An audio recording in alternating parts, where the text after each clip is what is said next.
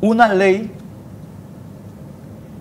que a todos los efectos prácticos es la censura de la red social más grande del mundo, TikTok, y otra, una ley que se llama FISA 702, que, tengo que decir, viola la Constitución de Estados Unidos y le otorga al gobierno el derecho de espiarte sin orden judicial. Así que, Eduardo, gracias por estar con nosotros. Muchas gracias por invitarnos.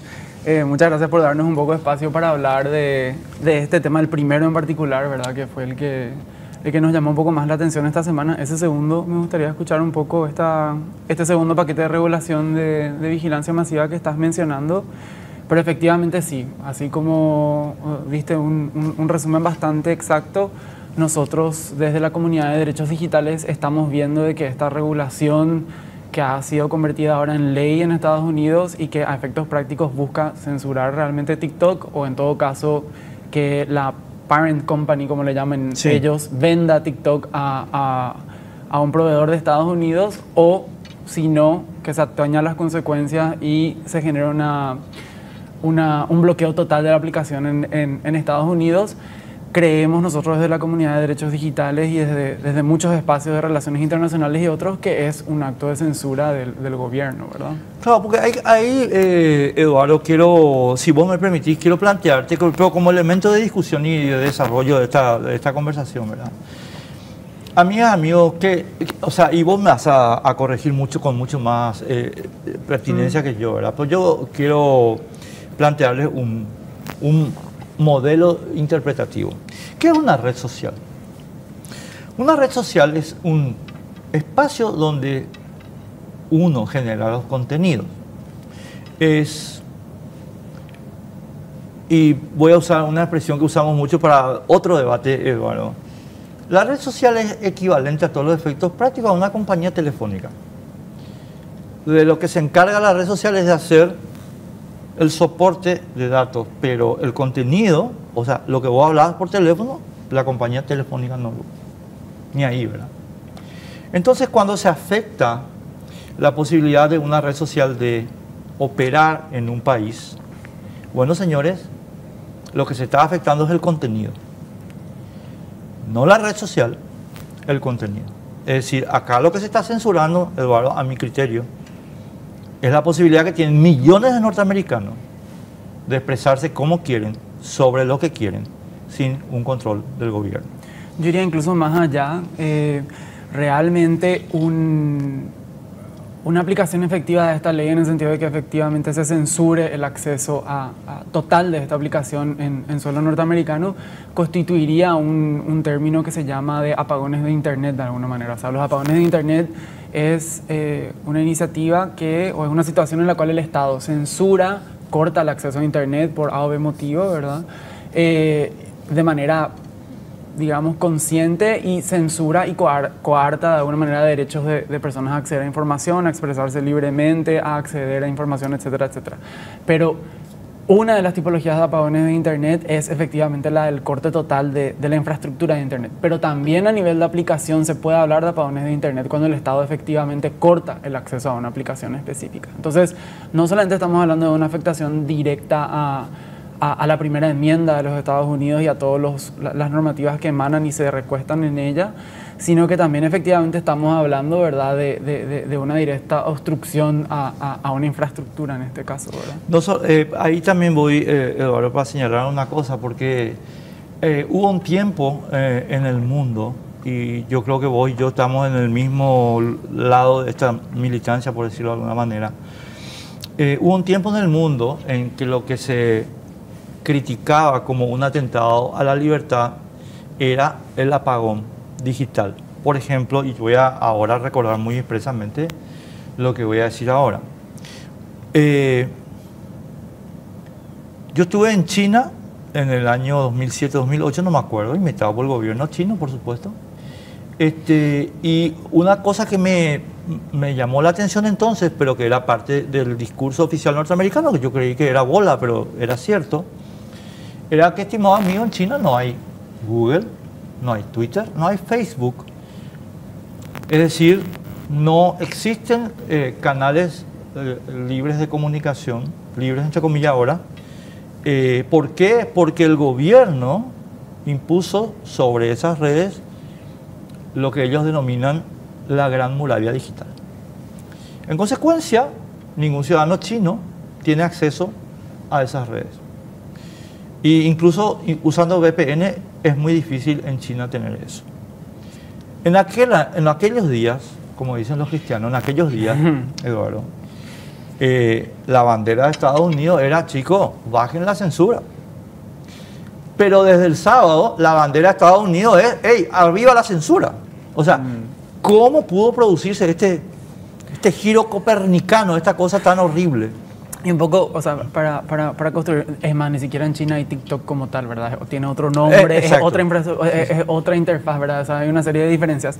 Eh, ese es justamente uno de los grandes cuestionamientos que actualmente se está haciendo desde la comunidad, pensando desde una cuestión de promoción, de libertad de expresión, ¿verdad? De, de, de, acceso a la información, etcétera, que Estados Unidos, con todas las críticas que podemos hacer también a, a, su modelo, ha realizado en general eh, para lo que tiene que ver con eh, ir en contra o condenar la censura de acceso a aplicaciones de Internet o a, aplicaciones en general, páginas web, Estados Unidos ha siempre estado muy en el lado de la defensa de ese, de ese tipo de acceso y a condenar ese tipo de restricciones. Entonces, es un giro importante el que estamos viendo hoy, ¿verdad? Que, un giro negativo. Que, es un giro negativo para, para nosotros definitivamente y que, que también como que ha tenido una serie de complejidades en el debate legislativo. O sea, para mí hay millones de maneras de analizar esta situación, ¿verdad? Yo diría, uno primero tendría que ver con que todo este debate se quiso enmarcar en debates de, o en, argumentos de seguridad nacional, ¿verdad? O sea, en, en un poco este, este discurso de bueno, una nueva guerra fría entre Estados Unidos y China y lo que eso implica para el sector de tecnología y la preocupación de los legisladores que estaban empujando por este, por este paquete regulatorio. Eh, de eh, argumentar de que TikTok representaba una amenaza para la seguridad nacional de los Estados Unidos. Entonces, automáticamente cuando se busca enmarcar un debate de política pública de regulación en el marco de seguridad nacional, es muy difícil generar algún tipo de incidencia porque no puedes acceder a la información que está, digamos, justificando esos, esos argumentos de seguridad nacional y por ende quedas completamente fuera de cualquier debate igualitario entre sociedad y Estado queriendo regular una determinada situación. Entonces acá uno de los principales, eh, o una primera manera de analizar esto es decir de que el debate ha sido insuficiente porque los argumentos que se están presentando actualmente para decir que TikTok es una amenaza a la seguridad nacional de Estados Unidos y que está recostado en temas de decir de que hay un acceso demasiado desproporcionado a, a cierto tipo de datos personales que se recolectan en esta aplicación o también los peligros de que esta es una plataforma que facilita la desinformación y la difusión de propaganda contraria a los intereses de Estados Unidos y cercana a los intereses de eh, relaciones exteriores o de política de relaciones exteriores de China, no, eh, no van más allá de esas afirmaciones. No hay datos concretos que digan, ok, por esto y por esto, estas son las situaciones que ameritan ese tipo de intervención. Pero Entonces yo quiero, queda fuera del discurso. Sí, pero además yo quiero agregar algo ahí, Eduardo. Eh, tengo miedo que esto se convierta en un poco aburrido porque creo que estamos un millón por ciento de acuerdo acá con Eduardo, un millón por ciento. Pero eh, si me permitís, quiero agregar unos, unos elementos de juicio. Eh, en el debate legislativo norteamericano, obviamente las líneas argumentales fueron dignas de lo que escuchamos acá, es decir, nada, muy poco porque realmente esto se trata, estimados amigos, de una decisión política que tomó la gente que verdaderamente manda en Estados Unidos, que no es el pueblo. Y aquí, eh, eh, Eduardo, dos, elementos eh, que creo que hay que poner en el input.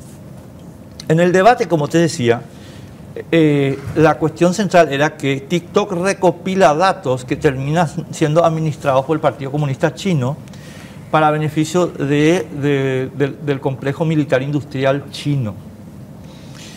Y eh, entre las pocas voces disidentes que se escucharon, eh, y tengo que decir que en este debate ni Trump está en contra, o sea, ni Trump está en contra.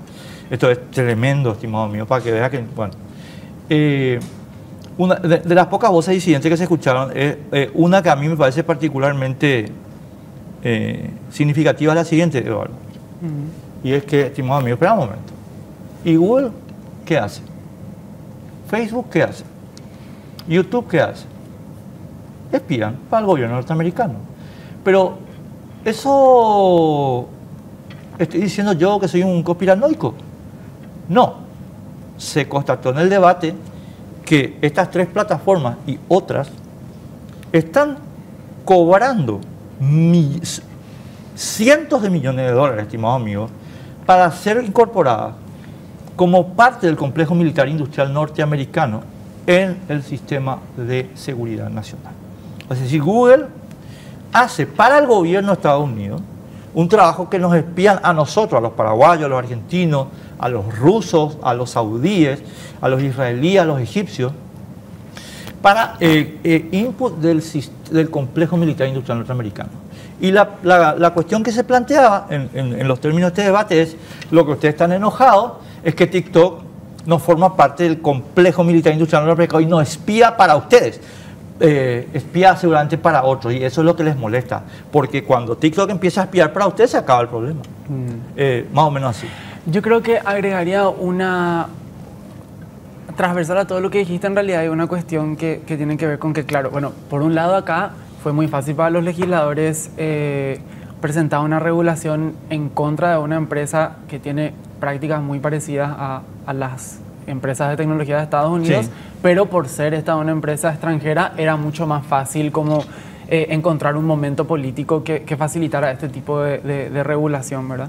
Y acá en realidad, y porque decías al comienzo que no tenía mucho que ver con nosotros esto, pero, pero yo, yo sí lo conecto de alguna manera porque, claro, Estados Unidos y Paraguay tienen regulaciones en materia de protección de datos personales inexistentes realmente, ¿verdad? Nosotros tenemos una ley sectorial al sector crediticio que nos sirve realmente para para proteger en toda la complejidad que, que, que, los datos personales realmente pueden proteger a una persona.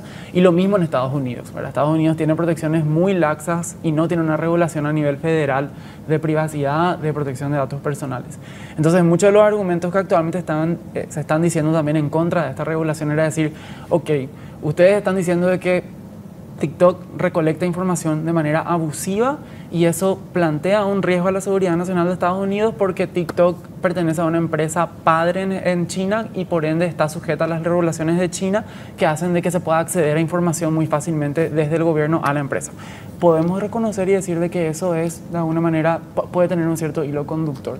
Pero ¿por qué no nos estamos preocupando entonces de las otras empresas que recolectan exactamente la misma eh, cantidad de información y que actualmente realmente lo único que demuestra es de que estamos desprotegidos porque no existe una ley que realmente regule prácticas abusivas en general de las empresas y limite la recolección de datos personales.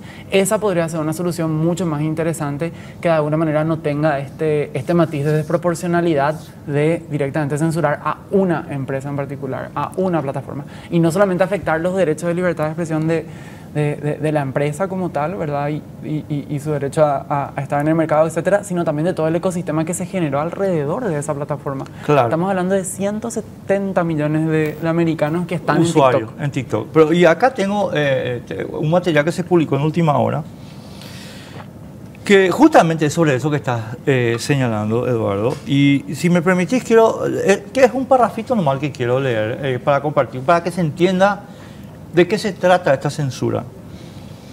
Eh, le hacen una entrevista a no sé quién, pido disculpas, porque lo que quiero leer es el párrafo donde está la información sustantiva. Esto se publicó en última hora, eh, creo, en el digital de anteayer. Y dice lo siguiente. Esto tendrá un efecto devastador para 7 millones de negocios norteamericanos.